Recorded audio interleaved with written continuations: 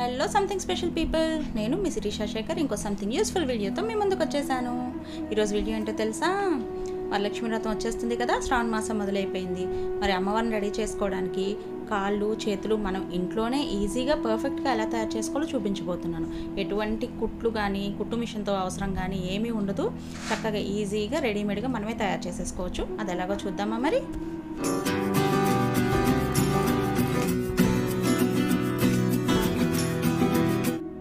అమ్మవారికి పెట్టడానికి ఇలాగా ఒక అభయహస్తం ఆ వామహస్తం అండ్ టూ లోటస్లు పట్టుకునేటట్టుగా వెనకాల ఇంకో రెండు చేతులు మొత్తం నాలుగు చేతులు రెడీ చేసుకున్నాను. అయితే ఈ చేతులు రెడీ చేసుకోవడానికి మనకి ఇలాంటి గ్లౌజ్లు అంటే డ్రైవింగ్కి స్కూటీ డ్రైవ్ చేసేవాళ్ళు వెహికల్స్ డ్రైవ్ చేసేవాళ్ళు లేడీస్ వేసుకుంటారు కదా గ్లౌజ్లు ఇలాంటివి మనకి రెడీమేడ్గా మార్కెట్లో దొరుకుతాయి. అవి తెచ్చుకుంటే మంచిది ఎందుకంటే మనం స్టిచ్ చేసినా కూడా కరెక్ట్గా పర్ఫెక్ట్ షేప్ అనేది మనకి రాదనమాట. ఈ గ్లౌజ్లు అయితే తక్కువ రేటే పెద్ద కాస్ట్ కూడా ఉండవు. మనం స్టిచ్ చేసుకున్న క్లాత్ తీసుకున్న అదే కాస్ట్ పడుతుంది మనకి. సో ఇలా అయితే కనుక మీకు ఈజీగా ఉంటుంది. మీకు ఇది ఆన్లైన్లో కూడా అవైలబుల్ ఉన్నాయి. కాకపోతే ఆన్లైన్లో కొంచెం ఎక్కువ కాస్ట్ ఉన్నాయన్నమాట. సో మామూలుగా లోకల్ మార్కెట్స్లోనే తెచ్చుకోండి మీరు గ్లౌజులు. ఆ గ్లౌజులు తెచ్చుకొని ఇది నేను స్టఫింగ్ తెచ్చుకున్నాను అనమాట స్టఫింగ్ ఫైబర్ స్టఫింగ్ అయితే మనకు బాగుంటుంది దూది కన్నా కూడా. ఫైబర్ స్టఫింగ్ అయితే ఏంటంటే తేలిగ్గా ఉంటుంది అని తడిచినా కూడా మనకు పాడవదు అనమాట ఇప్పుడు ఈ స్టఫింగ్ని మొత్తం కూడా ఇలా విడివిడిగా విడదీసేసుకొని మొత్తం దాంట్లోకి గ్లౌజ్లోకి స్టఫ్ చేసుకోవాలి. ఫస్ట్ మనం వేళ్ళ నుంచి మొదలు పెట్టుకుంటూ స్టఫ్ చేసుకుంటూ రావాలి. ఒకటేసారి ఉండలాగా కనుక లోపలికి తోసేస్తే షేప్ అనేది కరెక్ట్గా రాదనమాట అలాగే పెన్సిల్ సహాయంతో ఆ వేళ లోపలికి మనం స్టఫ్ చేసేసుకోవాలి.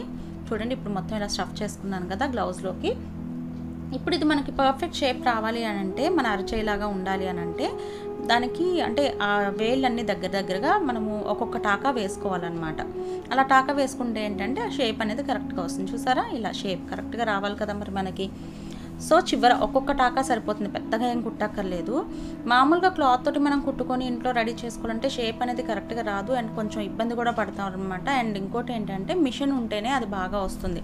ఆ స్టిచ్చింగ్ అనేది. సో దీనికి ఎటువంటి మిషన్ మనకు అవసరం లేదు కాబట్టి ఇలా మీరు ఈజీగా కుట్టేసుకోవచ్చు. అండ్ టైం తక్కువ ఉన్నప్పుడు ఇలా చేసుకోవడం చాలా బెటర్.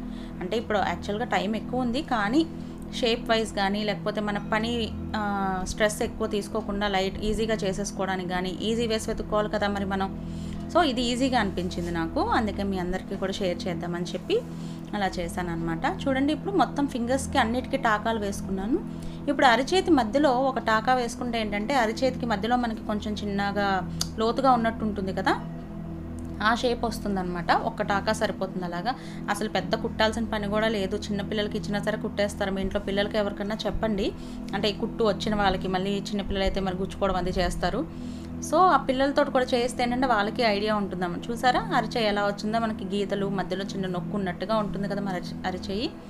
అయితే అంత బాగానే ఉంది కానీ నాకు ఇక్కడ మడ అంటే మణికట్టు దగ్గర షేప్ కరెక్ట్గా రావాలి కదా అని చెప్పేసి అనిపించింది అనమాట సో అక్కడ ఒక టాకా వేసుకొని దారాన్ని కుట్ ఏం కుట్టలేదనమాట జస్ట్ ఆ చేతి చుట్టూ ఒక తిప్పు తిప్పాను అలాగా. తిప్పడం వల్ల ఏంటంటే కొంచెం అక్కడ నొక్కుకొని మణికట్టు దగ్గర షేప్ చెయ్యి షేప్ అనేది కరెక్ట్గా వచ్చిందనమాట చూడండి ఇలాగా ఒక తిప్పు తిప్పేసి అక్కడ మూడు వేసేసుకున్నాను అంతే. పెద్ద కష్టమేం లేదండి చాలా ఈజీగా అయిపోతుంది.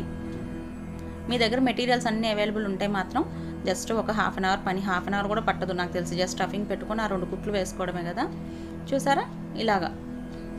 అయితే మనకి అభయహస్తం కానీ వామహస్తం కానీ పెట్టుకున్నప్పుడు కొంచెం అంటే బెండ్ అయి ఉండాలి కదా మరి మనకి.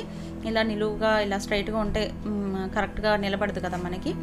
మీకు వీలైతే కనుక లోపల మీకు అలా బెండ్ అయ్యేటట్టు కావాలి అని అంటే ఈ అల్యూమినియం మన బట్టల పెట్టుకునే ఇవి ఉంటాయి కదా హ్యాంగర్స్. ఆ హ్యాంగర్స్ ఊస ఏదైనా సరే లోపల పెట్టి బెండ్ చేసుకోవచ్చు. లేదు అని అంటే ఇలా నేనైతే కుట్టు వేసేసుకున్నాను. వెనకాల చేతికిను మణికట్టుకి దగ్గర రెండు కలిపేసి కుట్టు వేసి వెనక్కి లాగితే ఇంకా అది అలా ఉండిపోతుంది. మీకు అసలు ప్రాబ్లమే రాదన్నమాట. ఊడుతుంది అనే ఇది ఉండదు. పిన్స్ కన్నా కూడా ఇలా కుట్టు వేసేసుకోండి. కుట్టు వేసేసుకుంటే ఏంటంటే మీకు ఊడకుండా మంచిగా ఉంటుంది అనమాట చూడండి ఇలా చక్కగా ఇలా ఉంటుంది. మీకు అసలు ప్రాబ్లమే రాదు ఊడడం అనేది ఏం జరగదు. చూడండి ఇలా పట్టుకుంటే కూడా ఇంకా అలా నిలబడిపోయి ఉంటుందన్నమాట. ఇలా తంబు మధ్యలో ఆ నొక్కు కరెక్ట్గా హ్యాండ్ షేప్ వచ్చింది కదా? ఇప్పుడు మీరు దీన్ని ఎలా కావాలంటే అలా అమ్మవారికి మీరు అమర్చుకోవచ్చు ఫిక్స్ చేసుకోవచ్చు. ఇలా రెండు హ్యాండ్స్ కూడా తయారు చేసేసుకున్నాను నేను. చూడండి. అయితే హ్యాండ్స్ తయారు చేసుకున్నప్పుడు చెయ్యి కరెక్ట్గా చూసుకోండి. అంటే తమ్ ఎటు రావాలి అటు ఒకటి ఇటు ఒకటి రావాలి కదా. అది తయారు చేసుకున్నప్పుడు చూసుకోండి. ఇలా పట్టుకున్నట్టుగా మనకు అమ్మవారికి ఇంకో హ్యాండ్ తయారు చేశానని చెప్పాను కదా అది ఇదనమాట ఇది ఎలా తయారు చేశానో ఇప్పుడు నేను చూపిస్తాను మీకు. ఇది కూడా చాలా ఈజీ నేను ఆ స్టా సాక్సెస్ అనేవి ఆ గ్లౌజ్లు అనేవి ఫోర్ తెచ్చుకున్నాను అనమాట టూ ఏమో అభయహస్తం వామహస్తానికి ఇంకో రెండేమో వెనక్కి. సేమ్ అదే మాదిరి ఇందాక ఎలాగైతే స్టఫ్ చేసుకున్నామో అలాగే ఇది స్టఫ్ చేశాను. అయితే ఇక్కడ కుట్టు వేసుకునేటప్పుడు నేను చెప్పాను కదా ఇందాక మీరు రెండు చేతులు ఎడం చెయ్యేది కుడి చెయ్యేది అనేది చూసుకొని కుట్టు వేసుకోండి. ఒకవేళ రివర్స్లో వేస్తే కనుక అది మళ్ళీ మీకు ఇబ్బంది అవుతుంది షేప్ అనేది అంటే పెట్టినప్పుడు కరెక్ట్గా అమరు అనమాట చూడండి మీ చేతిలో మీరు చూసుకోండి. ఈ చెయ్యి ఒకటి ఈ చెయ్యి తంబ్ ఎటు వచ్చింది లిటిల్ ఫింగర్ ఎటు వచ్చింది అని చూసుకొని మీరు కుట్టుకోవాల్సి ఉంటుంది. ఇదిగో ఇలా పట్టుకొని చూసుకోండి మీరు. సో అలా చూసుకొని అలా కుట్టేసుకోవడమేనండి. ఇది కూడా సేమ్ అలాగే టాకాలు వేసుకోవాలి. అది ఇందాక స్ట్రైట్గా మనం ఫింగర్స్ నిలువుగానే ఉంచి టాకాలు వేసాం ఇది కొంచెం బెండ్ చేసి టాకాలు వేసేసుకోవాలన్నమాట. ఒకదాని పక్కన ఒకటి పెట్టేసుకొని. చాలా ఈజీగా ఉంది కదా ఈ ప్రాసెస్. షేప్ కూడా చాలా బాగా వచ్చిందండి. నాకైతే పర్ఫెక్ట్గా అనిపించింది అనమాట మామూలుగా మనము కొనుక్కొచ్చుకోవచ్చు బజార్లోంచి కానీ మనం చేసుకుంటే అదొక తృప్తి కదా అమ్మవారికి ఏదైనా సరే. ఇంకా ఎలాగో టైం ఉంది కాబట్టి మీ అందరూ కూడా ట్రై చేయండి. చాలా ఈజీగానే అవైలబుల్ ఉంటాయి ఈ గ్లౌజెస్ అనేవి. చాలా ఈజీగా కూడా కుట్టేసుకోవచ్చు. పెద్ద శ్రమ పడక్కర్లేదనమాట. జస్ట్ అక్కడ ఒక టాకా అక్కడ ఒక టాకా వేసుకుంటే అయిపోతుంది. చూడండి ఇలా. బాగున్నాయి కదా? ఇలా ఇప్పుడు మనము ఈ చేతులకి అలంకరణ అనేది మన ఇష్టం అండి మనకి నచ్చినట్టుగా అలంకరించుకోవచ్చు. గాజులు పెట్టుకోవచ్చు ఉంగరాలు పెట్టుకోవచ్చు. నేనైతే ఫస్ట్ పారాని పెట్టి కలర్స్ వేద్దాం గోరింటాకు పెట్టుకున్నట్టుగా అనుకున్నాను. ఇది ఫ్యాబ్రిక్ పెయింట్ అనమాట ఫ్యాబ్రిక్ పెయింట్ తీసుకొని చక్కగా ఇలా కలర్స్ వేసేసాను. ఇంకా అలంకరణ అయితే మీ ఊహకండి. మీకు నచ్చినట్టుగా అలంకరించేసుకోవచ్చు. ఫ్యాబ్రిక్ పెయింట్ వేసి జస్ట్ ఎక్కువగా అంటే అలంకరించలేదు. ఇంకా టైం ఉంది కదా మెల్లగా చేసుకుందామని కాకపోతే మీ అందరికీ చూపిస్తే ఇప్పుడు మీరు చేసేసుకుంటారని చెప్పేసి మీ అందరికీ త్వర త్వరగా చూపించేస్తున్నాను అనమాట ఇంతే చాలా సింపుల్ కదండి. చాలా ఈజీగా అయిపోయింది కదా చేతులు తయారు చేసుకోవడం. ఈ చేతులకి ఇప్పుడు ఈ గీతలు ఆ గోరింటాకు చుట్టూరు కూడా స్టోన్ లేస్ కానీ పూసలు కానీ మన ఇష్టం అండి. అలాగైనా మనం అలంకరించుకోవచ్చు. బాగున్నాయి కదా. మీ అందరూ కూడా తప్పకుండా ట్రై చేయండి. అండ్ ఎలా కుదిరిందో కూడా నాకు చెప్పండి కమెంట్స్ రూపంలో. అండ్ నెక్స్ట్ వీడియోలో కాళ్ళు ఎలా తయారు చేసుకోవాలో చూపిస్తాను. ఎందుకంటే ఈ వీడియో చాలా లెంత్ ఎక్కువ అయిపోయిందని చెప్పేసి ఇందులో పెట్టట్లేదు అనమాట అందుకే తప్పకుండా చూడండి. తర్వాత ఈ కాళ్ళు చేతులు అమర్చి అమ్మవారిని ఎలా రెడీ చేసుకోవాలో కూడా చూపించిపోతున్నాను. Okay thanks for watching